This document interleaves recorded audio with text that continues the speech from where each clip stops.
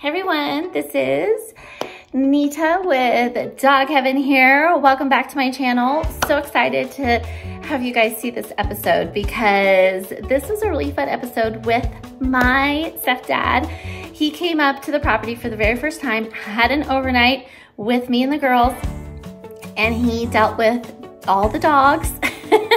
he is not naturally a dog person, so it was a little bit of an adjustment, but he handled it amazing. So I can't wait for you to see this uh, episode. Make sure to like and subscribe so you don't miss a beat, and I'll be right back.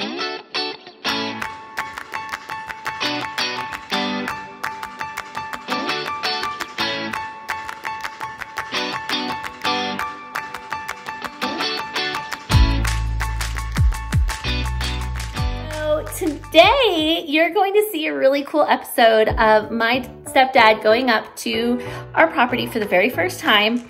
And I didn't film this part, but I wanted to let you guys know that I was like so proud of him for how he handled a little situation that happened with Ace. So he was getting ready to, he was trying to move Ace out of the way so that I could pull my car out. And Ace is a pit bull and he likes to be stubborn. and he was being stubborn. He was not moving. And of course, my stepdad did not know Ace very well, so Ace was a little nervous around him, um, which happens with all dogs, but sometimes with pit bulls, it's a little bit uh, uh, more because it takes a little bit more to get to know them, and then they trust you a little bit more.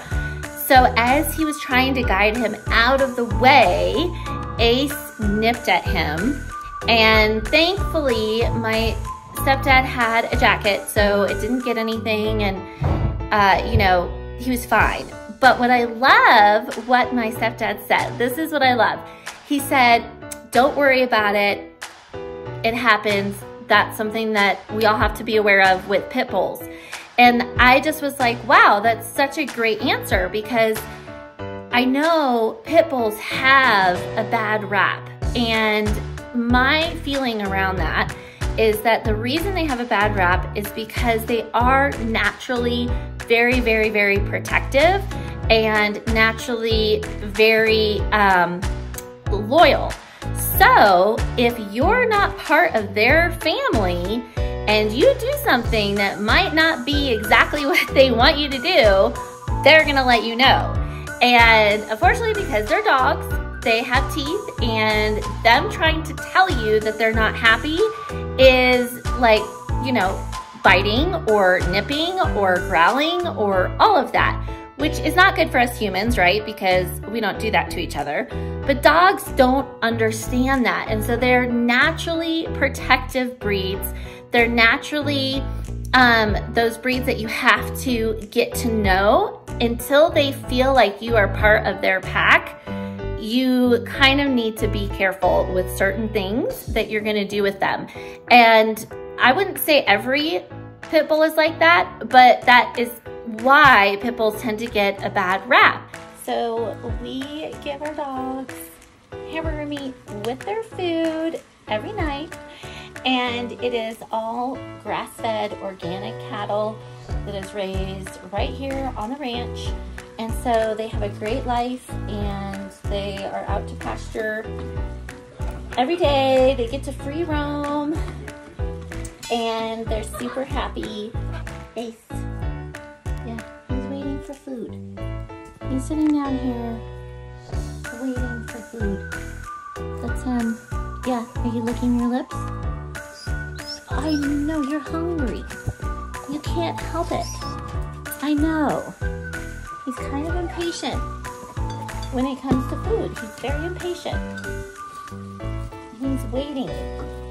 It also has to do with how people react to it. So my stepdad could have been like, you know, oh my God, like really mad and like fought back or done something else. It would have made it worse. Um, and dogs pick up on that energy as well. And so just remember that the breed has so much to do with how you treat a dog. And before you get a dog, I highly recommend learning about that breed and respecting the breed because these are dogs. They are not humans. I think sometimes we want them to be human. We want them to speak our language, but they don't. They speak dog language. and because they speak dog language, we need to learn their language. They do not need to learn our language. We need to learn their language and we need to learn about the breed before we get the dog. And then once we learn about the breed, we can learn certain things to do to make sure that um, we're being the best caretakers for that particular animal. So um, I know you see a lot of things at Dog Heaven and it all looks like, you know, rainbows and sunshine, which it is most of the time. But there's also those moments that kind of scare you a little bit.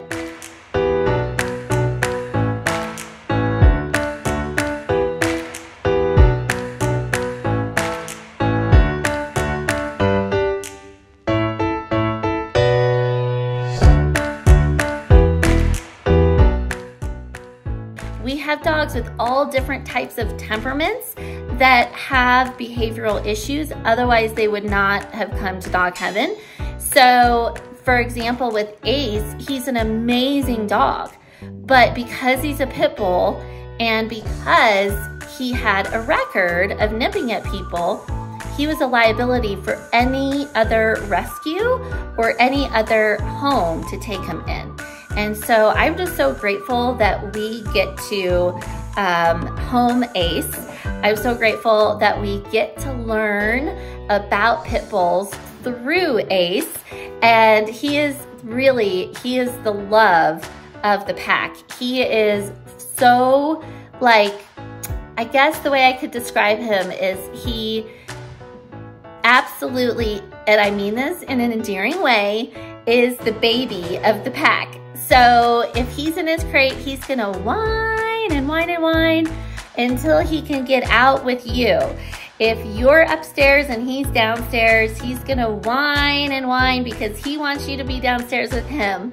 Um, if it's dinner time and he hasn't gotten fed yet, he is going to whine because he wants that food. Um, and he is a love, he is like the heart of our pack. And we just love babying Ace because he's our big baby. So I hope you like this episode. Make sure to like and subscribe and enjoy our weekend with Papa.